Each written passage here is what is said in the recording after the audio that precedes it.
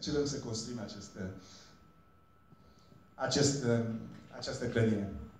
În fine, am privilegiat câteva imagini ca să se știe toată lumea că în lume nu se reface o clădire numai, ci se creează o,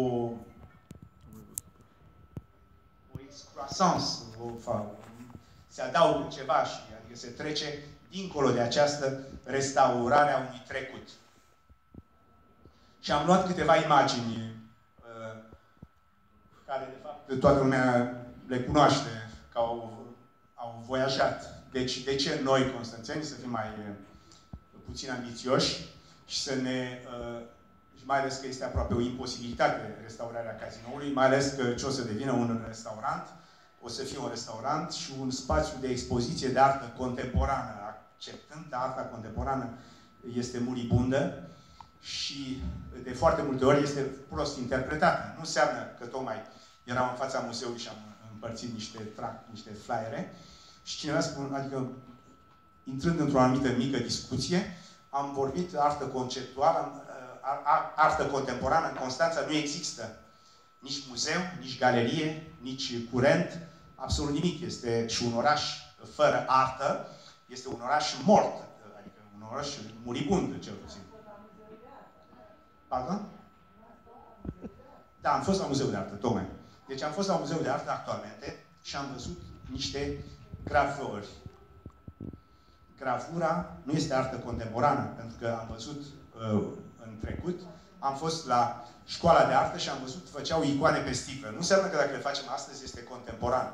Contemporan înseamnă să aduceți o subtilitate, o noutate, nu, adică o chestie care este tipic românească, uh, care este la frontiera uh, art, amator de artă și uh, gravor și grafică, care este apreciabilă. Eu mi-au plăcut aceste gravuri, uh, aceste tehnici am învățat în copilărie și uh, dar nu înseamnă că avem artă contemporană.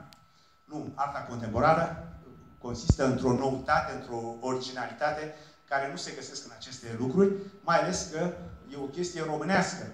Grafica, dacă cunoașteți manga uh, și japoneză și tot ce se face în, uh, în lume, uh, nu o să mai considerați, deci eu vă aduc un punct de vedere exterior, nu o ampriză într-o chestie din asta. Ce vedeți la Muzeul de Artă, sunt tablouri de Grigorescu excepționale și artă de amatori, care nu, adică nu ar merita să fie expusă decât în niște mici galerii de artă, scuzați-mă.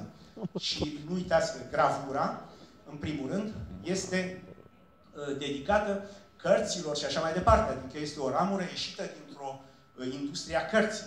Și, deci nu considerați, nu, nu confundați. Constanța nu are artă contemporană.